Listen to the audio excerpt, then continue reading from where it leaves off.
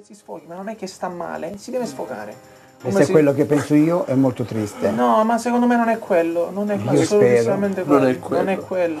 non Io è mi quello. auguro- Sia io lo- mi auguro oramai che non lo sia- conosco che non sia- è. Che bello vedere un ragazzo piangere, ma chi piange più ragazzi? Ma sai che non piange più nessuno?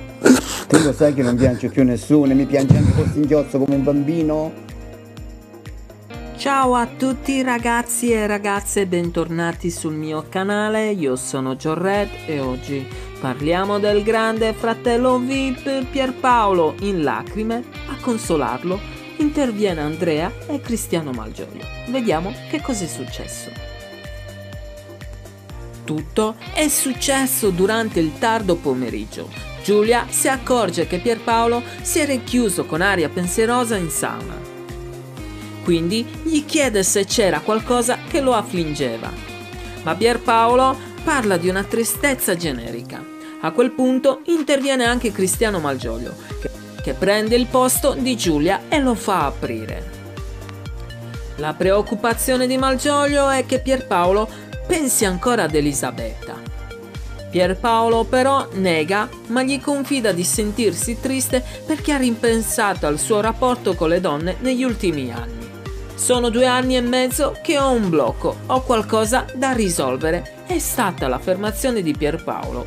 Cristiano risponde che qualunque ragazza vorrebbe un ragazzo come lui.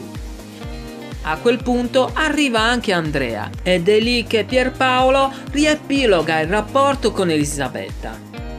Ho provato con lei le cose che si provano all'inizio. Al di fuori mi è già capitato, ma quando ho iniziato ad avere un rapporto più intenso non riesco più ad andare avanti più di un mese o due.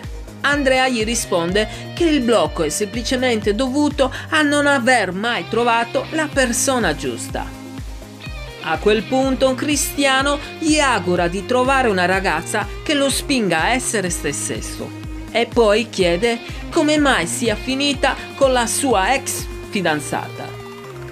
E Pierpaolo risponde che i due si sono lasciati pur essendo ancora innamorati.